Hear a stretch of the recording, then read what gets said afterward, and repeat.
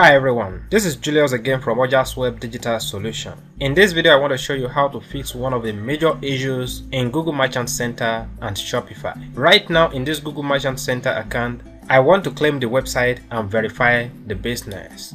So if I want to do this, there are many ways I can do it. If I go straight to my settings and click on business information and head over to the website for me to verify and claim the business. If I scroll to the bottom here, I see there are three options. Most of the time we want to use Google Analytics to verify the business and claim it. If I click on this, by the way, Google Analytics has already been installed on the website and if I go ahead and refresh the page you'll see that the Google Analytics is properly installed and is tracking the website. Right now I refresh the Google Analytics on the page and as you can see it has reflected that one user is currently active on the website. However if I go back to my Google Merchant Center to verify this particular website if I click on verify with Google Analytics this particular issue will come up and this is one of the issues you might notice most of the time if you're trying to verify verify your website with Google Analytics in Merchant Center. Now, how do I go ahead and solve this particular problem?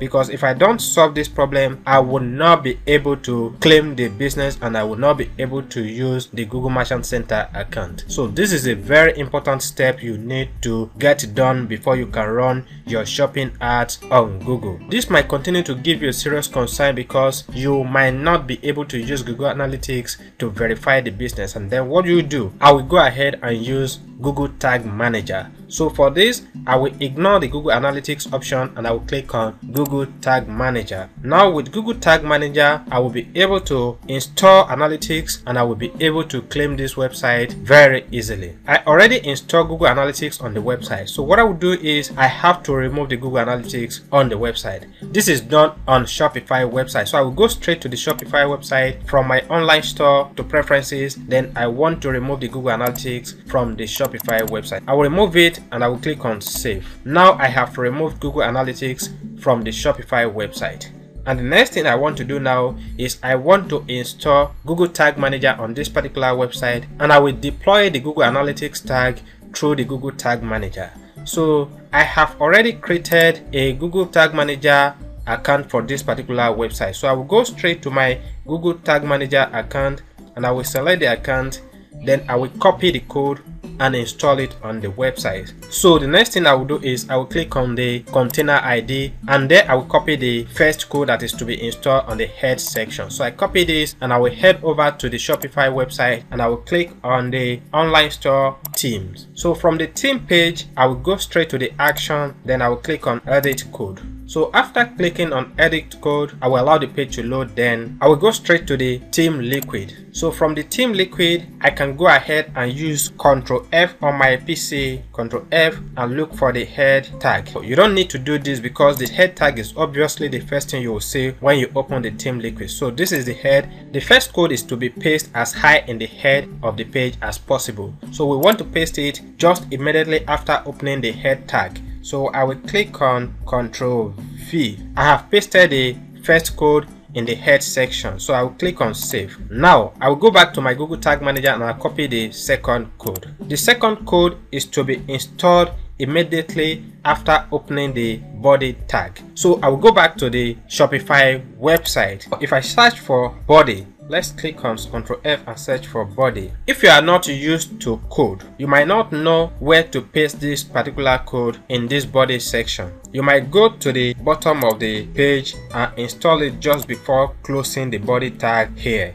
If you install it here and save it and deploy your Google Analytics tag, the Google Analytics will work pretty fine, but you will not be able to use this particular method to verify your website in Google Merchant Center. Let's go ahead and test this and see what will happen. So I have installed the Google Tag Manager code on this particular store. If I go back to my Google Tag Manager, I can now install Google Analytics tag but because I have already done that, I can go ahead and see what is happening on the website. If you don't know how to install the Google Analytics tag through the Google Tag Manager, you can easily go to the tag after installing your container on your website. You can go to the tag and click on new tag from here, new tag. Then you can select the tag which is Google Analytics and configure it. I have already done this. I will not do anything again because this is it Google Analytics is already installed on the website. So if I go back now and refresh this particular page and come to the Google Analytics, I will see that the Google Analytics tag is working.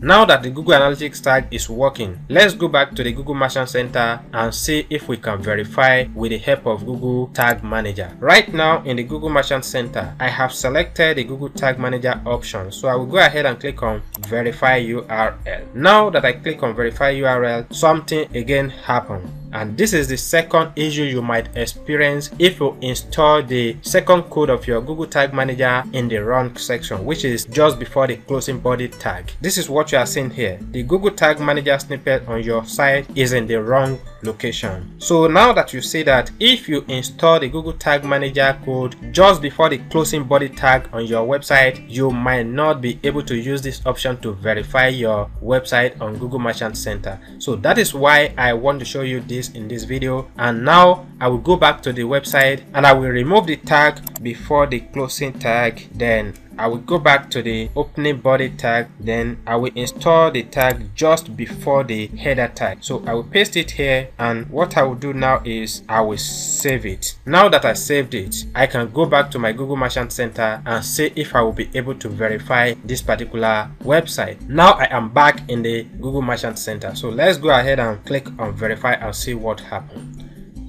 now I have been able to verify the website. The next thing is to claim the URLs. If I click on claim the URL, I should be able to claim it now. And you can see here, I have been able to claim the URL. And this is how you can go ahead and solve the problem of malfunction analytics on the website. If you are finding it very difficult to use Google Analytics to verify your website on Google Merchant Center, the best alternative is to use the Google Tag Manager. I believe you learned something in this video. If you have questions, feel free to drop it in the comment section and I will address every single question. Thanks again for watching the video and bye for now.